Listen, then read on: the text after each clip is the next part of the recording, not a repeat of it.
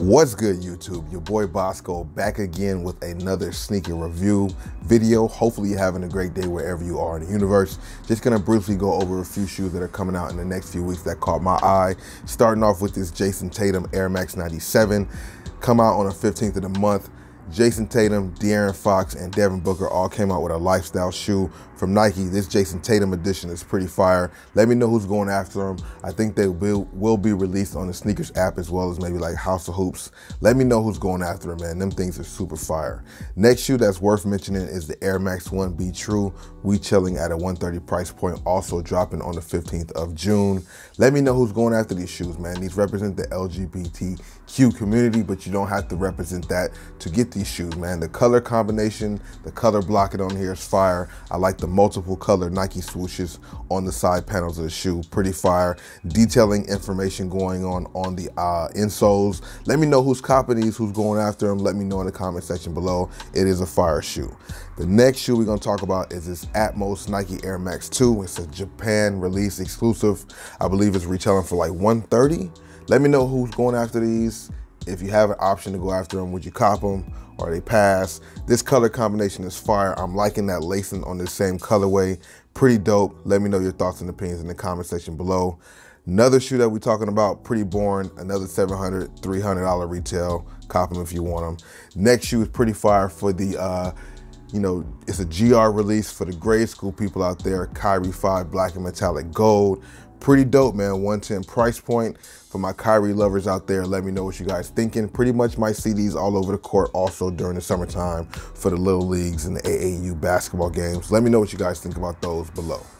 Next shoe is the Odell Beckham Jr. Air Max 2 King of Drip as you as they call them, you know, retailing for was a 200 price point coming out on the 21st of June.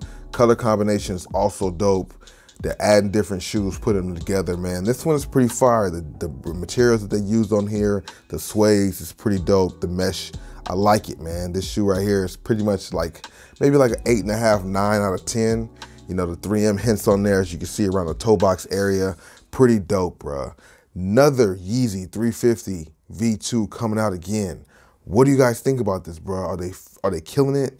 Too much of them? Let me know your thoughts and opinions of these Yeezys, bro. Now this shoe right here, this Ultra Boost, S&L Ultra Boost, I've seen it before. If you've been watching some of my videos, I've been seeing these at finish lines on deck. There's many colorways that have came out. This is one of my favorite ones that I have released. Set to come out on the 23rd, but I have seen these on shelves already. 180 price point, you can't go wrong with it. Boost is still very comfortable, even though it might not be hyped, it's still very comfortable. Let me know what you guys think about these in the comment section below. Next shoe, I'm not too sure about this release date, but these ones are loud, but they are dope to me. Nike Blazer Mid Gel, not sure what the retail is on them, not even sure the actual re, you know, release date. If you know that, let us know in the comment section.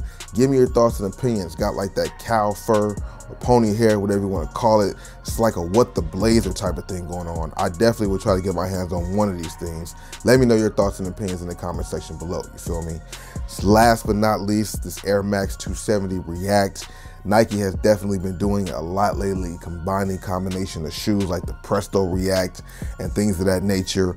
These right here to me are pretty dope. You got the React in the forefoot, you got the Air Max in the in the uh, back area by the heel. You got the vibes of so many different Air Max and Nike Reacts and all of it in one shoe, man. Super fire. Let me know your thoughts and opinions on those. Uh, is that something that they're doing too much? Or is that a perfect combination of a shoe? I'm pretty sure it's gonna be comfortable. It got that React in the front, the Air Max in the back, dual technology. I'm looking forward to that shoe, and you know they're gonna come up with some crazy colorways. Let me know what you guys think about all these shoes that we have talked about. Which one you guys feel is your favorite, which is a must have, which is a must pass. We're gonna do more videos like this also this way and another way, man. Hopefully you guys are enjoying the content. Keep watching the videos, of course. Follow me on the gaming channel if you want to get down with some of the gaming content, gaming with Bossco. And if you're down with some thrifting stuff, let me know, man. Check out Bobby Thrift. Without further ado, I'm about to get out of here. Once again, always a great time talking to you. I'll see you guys in the next video. Peace.